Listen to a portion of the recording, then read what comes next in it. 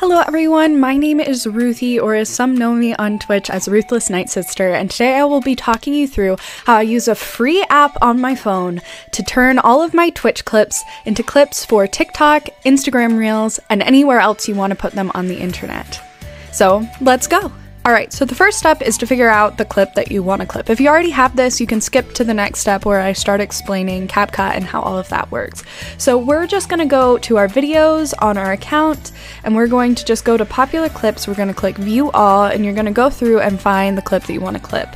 I'm going to be using this specific video for our demonstration, so you just click into the video, you click down here where it says share, and then there should be a button for you that says download. If it's not your clip, you can go to any website like Clipper and things like that and copy and paste the link in, and that will allow you to download other people's clips, or if you're not signed into your account, download your own clips.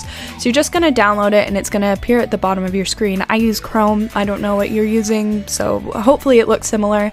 And then I have a Google Drive uh, account where I have a folder where I upload these so I can get them to my phone. There's other ways you can do that. You could email it to yourself, you could send it in a message to yourself. If you have an Apple device, it will be easier to transport it back and forth. However, you can do it to get that to your phone. All right, now we can switch to the phone now that we've gotten our clip off of TikTok, not TikTok, off of Twitch. Uh, we can go to the phone now.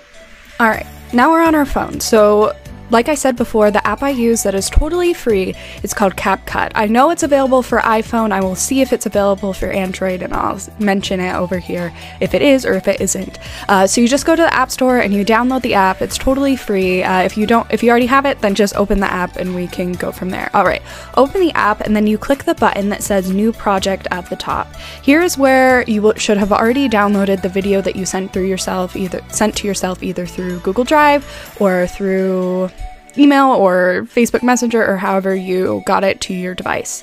Uh, you're going to select the video that you want to edit, and then you're going to go through the video and see if there's anything you like about the video or don't like about the video, and you're just going to cut out all the parts you don't like. So I'm going to do that really quick, uh, and then we're going to have our little cut video.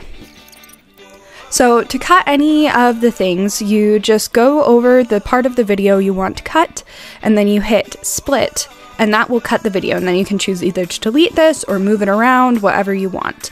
So now that we have our finalized video that is the length that we want it to be, uh, I didn't have to cut this one very much, but sometimes you just want very specific parts of like a six minute video, and then you can put it all together. So if you have lots of different pieces, I like to hit the download button, so that will export your video.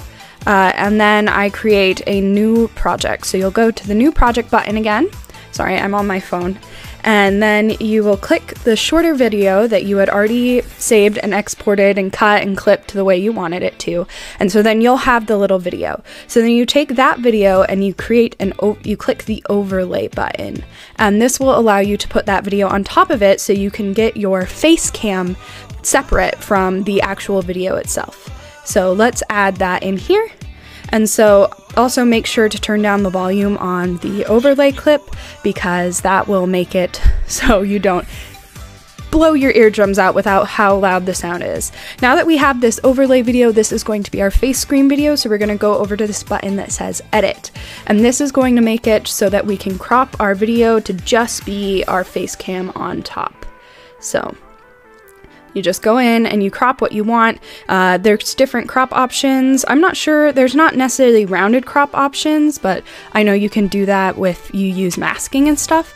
Uh, but if you just have a basic rectangular, square, whatever face thing, this is easy peasy lemon squeezy. So now we have our face cam and our stream separated. Uh, something you want to do now, or you could do it before you do any of this cutting, is go scroll over to format slash canvas and you want to hit, I believe it's, nope, it's not canvas. You want to hit format and that will allow you to make it whatever format you want. So it's going to already be at the 16.9 format that you use for Twitch because that's how you stream. And so you want to switch it to the 916 format that is TikTok, Instagram, anything like that is going to be in that format. Or you can make it a square or whatever else you need for your needs. Um, so then you're going to take the bottom video that is the stream and you're going to make it a lot bigger, however big you need it to be. And then you're going to take your face cam and you're going to make it smaller or whatever size you want it to be. Some of my videos, I like my face cam to be get bigger because it's more about my face and what I'm saying versus the game itself. So then you just situate that however you want. I like to also I like to also go in to canvas, this is why I got confused, and use the blur tool for the background because that just adds a little bit of cleanness to it. But that's totally optional, you could use anything else as the background if you so desire, just leave it black. Uh, so I also like to caption my videos, so then you just go into the text thing and it CapCut is amazing and it has a lovely auto caption feature that you just click continue and it will auto caption your videos. Obviously, it doesn't always get the wording right, so you have to go in and make sure that your captions, like, I didn't swear here, uh, even though the this thinks that I swore here. So you go in, you fix all the auto captions, and then you can also go in and you can change how the auto captions look. You can change the font and everything. Like, I usually use the modern font and you can place them wherever you want. The lovely thing about the auto captions is when you change one, it changes both of them, and so they will all be format. Uh, you can also just create text and type it in yourself if you don't like using the auto caption, but I like to use that feature, and so let me clean up all my captions and then I'll come back and explain how to finalize everything. All right, so I'm back now, and so this is what we have. Now that we've actually finalized all the video and everything, this is where we're at with the text and my face and the blur in the background and then the video underneath. And you can differentiate this and add other things and add special effects and things like that. CapCut is amazing. It has really great features, especially these, uh, I can't remember what they're called, uh, point features that will allow you, like, if you want to zoom your face in at this part and then zoom it out at this part. It, it does an amazing job of giving you full creative freedom for what you want to do. It's just a matter of messing around with the app.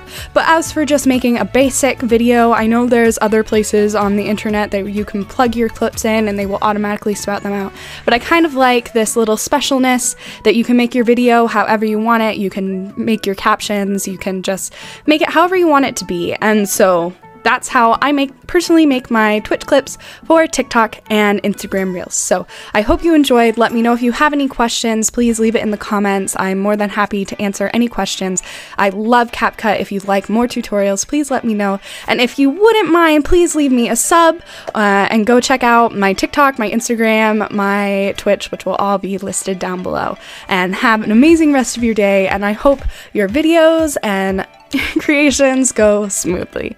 May the force be with you. Goodbye.